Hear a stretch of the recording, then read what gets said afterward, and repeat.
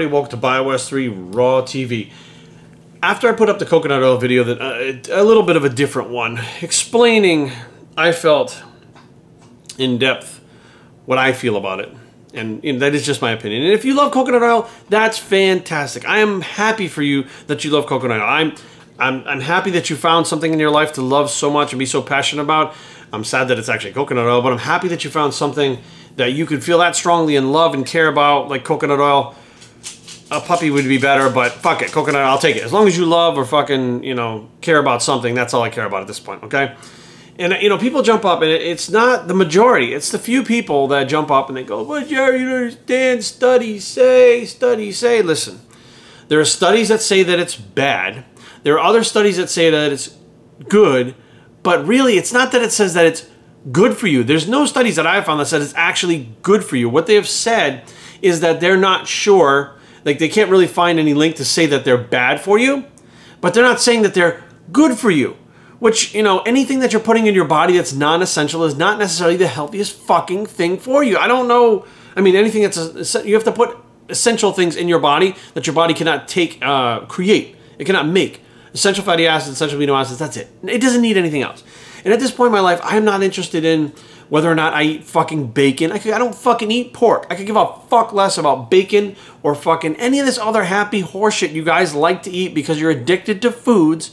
Or other people saying, I have taken MCTs and it's been magical for me. I'm telling you right now, MCTs are not a fucking magical thing. They're found in fucking nature. All right, they're found in coconut oil. They're not fucking magical. But we'll run with it. One guy was like, oh, I'm 6% body fat at fucking this.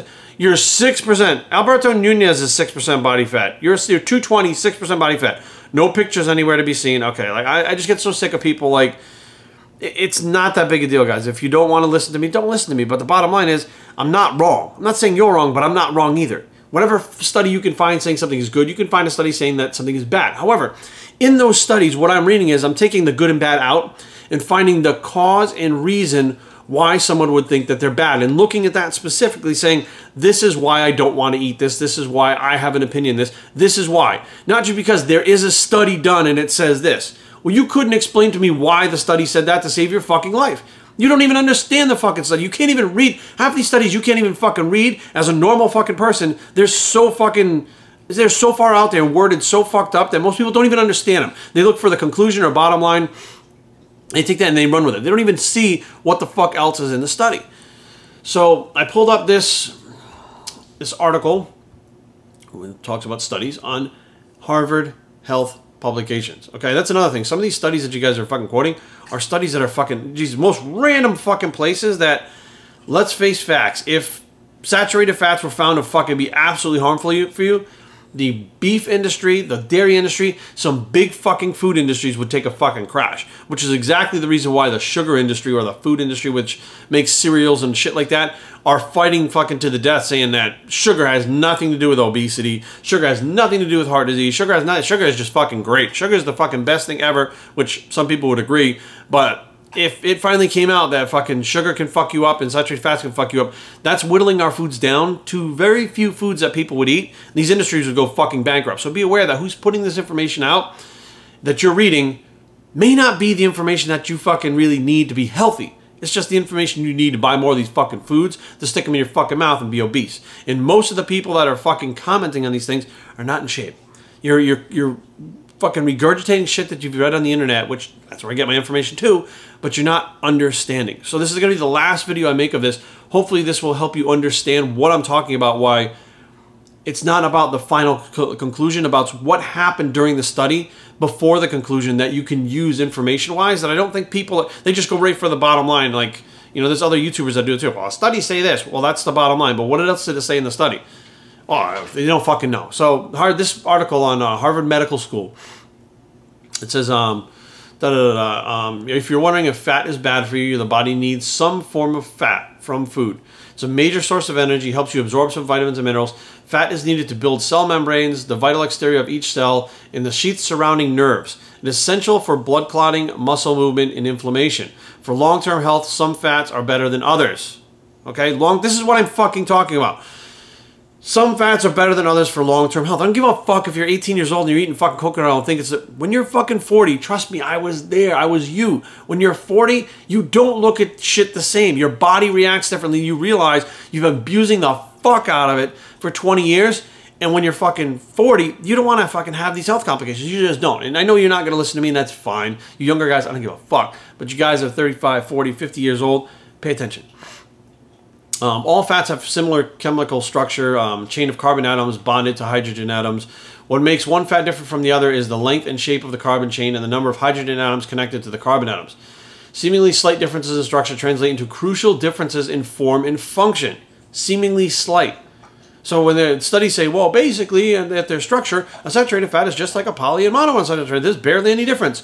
Right, but there is a fucking difference. Now the bad fats, trans fats. Those are the ones that, and what the fuck? When trans fats came out, they were advertised as being like the best thing. There's nothing wrong with them. They now know that they fucking are carcinogens that will kill you if you consume them long enough. That's just, if you consume trans fats long enough, you will get cancer. That's just the fucking bottom line. Now, the in-between fats. This is the ones that I'm talking about. Now, I don't want something that's in between, nor do I want something that's bad. I want the things that are good at this point in my life. And this is what I'm trying to fucking preach is going with the things that are the least fucking invasive to your body, easily digested, easiest for your body to use, and causes the least amount of inflammation and cortisol rise due to digestive things that fuck. I mean, you can eat a fucking Lego.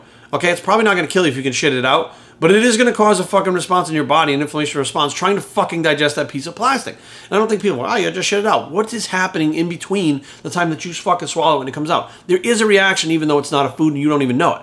Like, just because you don't know it doesn't mean it's not fucking real, and that's part of the problem that I have with this. Saturated fats are common in the American diet. They're solid at room temperature. Think about stuff like cooled bacon grease, okay? Um, common sources of saturated fat include red meat, whole milk, and other whole milk dairy foods, cheese, coconut oil, and many, many commercially prepared baked goods and other foods. The word saturated fat refers to the number of hydrogen atoms surrounding each carbon atom. A little bit of science for you guys. The chain of carbon atoms holds as many hydrogen atoms as possible. It's saturated with hydrogens, saturated fat. Is saturated fat bad for you? A diet rich in saturated fats can drive up total cholesterol. Nobody's arguing this fact, okay? And, you know, people are like, it doesn't really matter if you're good cholesterol. Drive up total cholesterol and tip the balance towards more harmful LDL cholesterol, which prompts blockages to form in arteries in the heart and elsewhere in the body. Okay? These are fucking facts. Now, these things happen with saturated fats, okay? It's been proven time and time again in studies. Then you find another study says, no, they're okay to take in in small amounts. Nobody ever said to eat a diet 100% fucking saturated fat. But you have to understand what you're working with here can be dangerous if you don't fucking pay attention. If you had 20 grams of saturated fat a day, I don't think it's to kill you. But if you can have closer to zero, I think that's better. I mean, that's the bottom line. Like, I'm the guy that doesn't want to go in the gym and train good. I want to train better. I don't want results that are good. I want better. I want better, and then eventually I want best. If there is a best out there, why the fuck would you settle for anything better, less than the best to put in your fucking body? You want the best supplements, the best water, the best drugs. You want the best of everything, but you're like, ah, I'll settle for fucking the okay fats. What the fuck? It confuses the shit out of me. Said, well, most experts recommend limiting saturated fat to under 10%. Most experts, okay? Experts in this shit, which my wife being a um, CVOR nurse, cardiovascular operating room, sees the effects of this daily. The heart attacks, the blockages, the fucking problems, the high blood pressure, the shit that is caused from these blockages, and many of them Many, not all, but many of them. You have to fill out these things. They do like a study, a workup on the person before this happens. High, diet's high in saturated fat. Are there sugar in there too? Yeah, but the fucking leading thing across it, high saturated fat. And once you get those problems, cutting out the saturated fat doesn't fucking help. You can't say, well, now I got, high, I got a blockage and I got this and I'm fucking high cholesterol. I'm just going to cut out saturated fats. It takes the body a while to fucking reverse that shit. And you don't realize you could be doing some damage that you can't fucking get away from. Um, recent reports have muddied the link between saturated fats and heart disease. One meta analysis of 21 studies said that there was not enough evidence to conclude that saturated fats increase the risk of heart disease. Okay, not enough evidence. But there was evidence, but not enough. What's enough? Everybody has to fucking die of heart disease? I mean, if you're seeing something consistently over and over again, you have another control group that doesn't have the same results, something's going on there. Even though there's not enough science to back it up, something is happening, okay? And you know what? I don't want to be one of those people that's that's something. You sitting there go, well, you know, it's not enough when you're that one fucking person in an operating room, when they fucking open you up from fucking neck to nuts and pull you open and start working on your heart, I guarantee you're gonna go, What the fuck? How could this happen? You're gonna look at your fucking diet and be like, okay, fuck my shit up for a long time because I thought it wasn't a big deal. You have to listen to like you have to read between the lines a lot of this shit to to see what's really going on. That's how drug companies get fucking drugs approved. Food companies get shit that you should never ingest approved. What the fuck? I mean, let's face facts. It says um Two other major studies narrowed the prescription slightly, concluding that replacing saturated fat with polyunsaturated fats like vegetable oils like olive oil, macadamia nut oil, high fiber or high fiber carbohydrates, vegetables, is the, is the best bet for reducing risk of heart disease, but replacing saturated fat with highly processed carbohydrates could promote the opposite. Cutting fat and adding sugar could promote worse heart disease cutting fat, saturated fats, and adding vegetables or fucking olive oils or macadamia oils or almond oils or whatever, that can actually lower. So they're saying there's not enough to say that it causes it, but you can decrease the risk by adding these other fucking things like almonds and fucking vegetables. Read between the fucking lines. What they're saying is if you eat these saturated fats, this could happen to you, but it's not enough science, so just fucking knock yourself out. Who gives a fuck?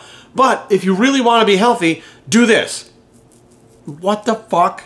What is wrong with you people? I don't understand this. The good fats um, from vegetables, nuts, seeds, and fish differ from saturated fats by having fewer hydrogen atoms bonded to their carbon chains.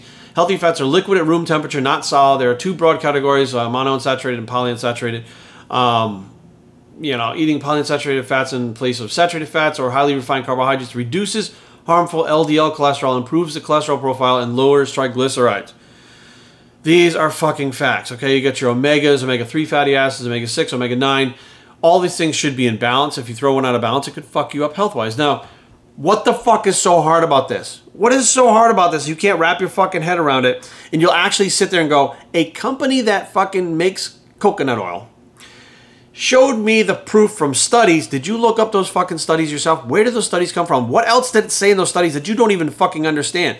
So, and this is Harvard Medical School. Okay, this is not Joe fucking blows Jerry's Crab Shack fucking promoting the fucking coconut oil or olive, like it's not an olive oil company fucking promoting it.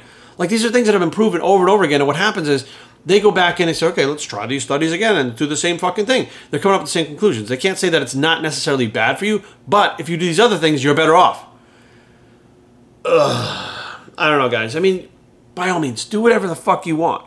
But some of you out there want the truth, and I'm trying to bring the fucking truth. Those of you out there that were like, you know, on stage it's good for you. Fuck you and your good for you saturated fats. I don't give a fuck what you say. You're the same motherfuckers that do shit like fucking smoke cigarettes and fucking drink alcohol, both poisons to your fucking body and say, in moderation, everything's okay. Get fucked with your moderation shit. That's all I have to say. I mean, you know, more than likely, I'm probably gonna fucking outlive you guys doing this fucking stupid shit, which is fucked up because my body was a goddamn playground for fucking 20 years. It took me 20 fucking years to settle down and say, I need to start looking at this stuff. Seeing the people. Once the people around you start getting sick, loved ones, friends, family, once they start getting sick from shit and they, you start looking at them going, what the fuck, what is going on here?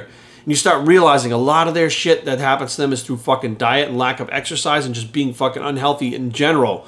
Doing shit like fucking smoking and drinking and stuff. And you start looking at this going, fuck, I don't want to be like that. Like, I don't want to be 65 years old in such a fucking mess that I can't move or I'm at the fucking hospital all the time or I have emphysema or I have.